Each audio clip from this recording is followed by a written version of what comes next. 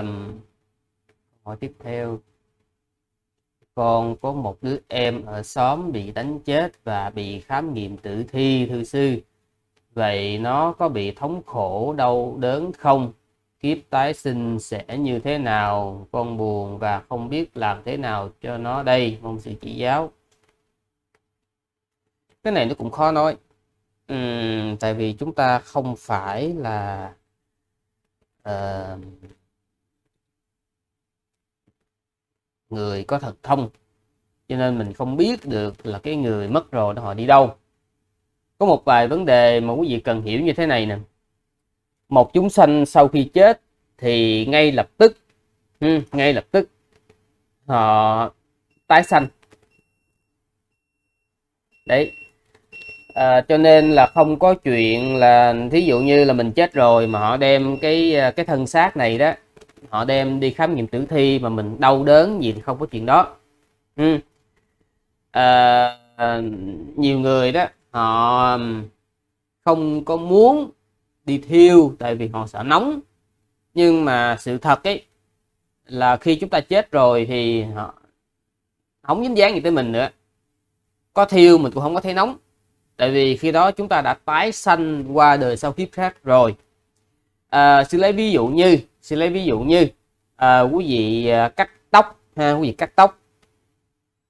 Thì khi cái tóc nó nó rụng rồi đó quý vị có đem cái tóc đó quý vị mổ xẻ hay là quý vị đi đốt thì quý vị cũng sẽ không còn không có cảm thấy đau đớn gì nữa hết. Hoặc là như cái cái tay của mình khi mà mình à, vì lý do nào đó mà mình đã chặt đi rồi đấy thì mình có đi làm cái gì? Mổ xẻ hay là thiêu đốt? Thì cái tay nó cũng không còn cảm giác nữa.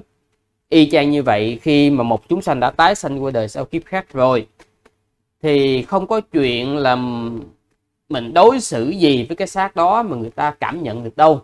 Ừ.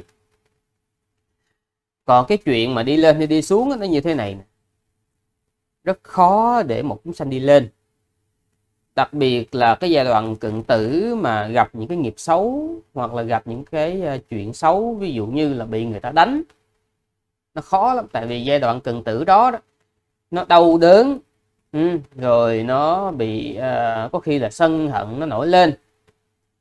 Trong kinh ấy uh, có những vị mà tu tập tốt thì uh, dù cho bị người khác đánh đập hoặc thậm chí đánh đập tới chết ấy, rồi sau đó băm sát hay là làm những cái chuyện mà nó kinh khủng.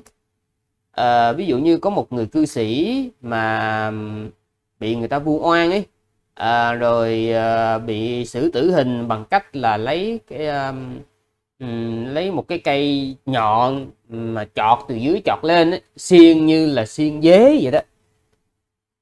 Đó thì rất là đau nhưng mà những cái vị mà được mô tả trong kinh là những vị um, có tu tập. Cho nên á, dù là chết trong đau đớn các vị đó vẫn giữ gìn chánh niệm. Thành ra đó, sau khi chết vị nào chứng a la hán thì thôi còn chưa chứng a la hán thì vị đó vẫn sanh thiên như thường. À, như trường hợp mà vua um, Bimbisara mà bị uh,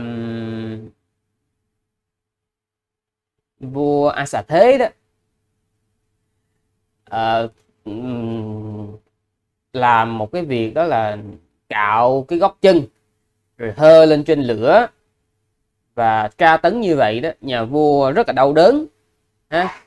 Nhưng mà do luôn luôn vì này giữ gìn chánh niệm và an trú trong cái điều mục là tùy niệm phật.